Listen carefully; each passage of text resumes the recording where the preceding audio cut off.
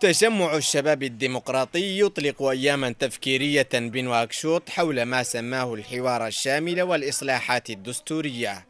حوار وإصلاح دستوري يقول رئيس تجمع الشباب الديمقراطي إن مرحلته القبلية تتطلب اعتماد خطاب سياسي ينبذ الفرقة ويسمو على الخلافات من خلال تجاوز سلبيات الماضي والتحضير لمرحلة جديدة.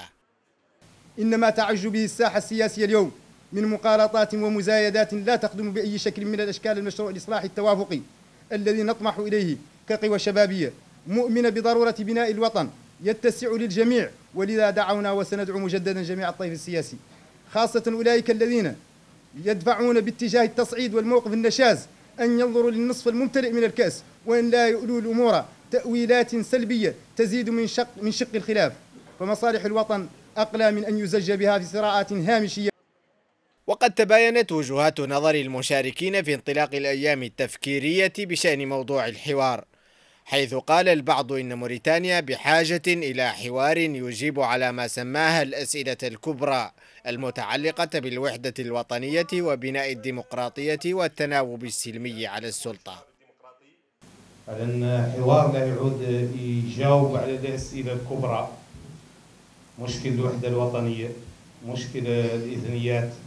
مشكل بناء الديمقراطية مشكل الحكامة مشكل التناوب السلمي على السلطة. هذا حوار بالحقيقة هو هو المطلوب وهو هو اللي يبني شعوب. ونحن اللي نحتاجه نحتاج بناء دول ما نحتاج بناء أغراض ولا بناء أحزاب. نحن مسؤولين عن هذا المجتمع فكريا فيما يرى آخرون أن لا حاجة للبلاد إلى حوار سياسي وإنما إلى تفاهم وطني وبعده إصلاح دستوري. ويدعو أصحاب هذا الطرح إلى توزيع عادل للثروة وإلى حماية الوحدة الوطنية للبلاد. نحن اليوم لا نحتاج حوار سياسي. أبدا حوار سياسي لا يدخلنا متاهة ما تننا نخرج منها نحن نحتاج تفاهم وطني. كل رجاج يطرح للي عنده يتحاور وحده. إلين يخلقوا كتل إلين يجمع من هذا قدر من هذا اللي دور الناس كامله ونطرحه حد نلاقي ساعة نتقدموا شر ما يسمى الإصلاحات الدستورية والإصلاحات لأن هذه أمور تتعلق بأشخاص لا تتعلق بالوطن.